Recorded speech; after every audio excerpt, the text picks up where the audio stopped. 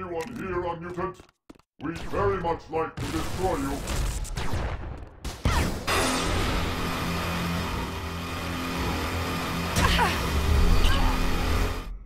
You look like an odd one.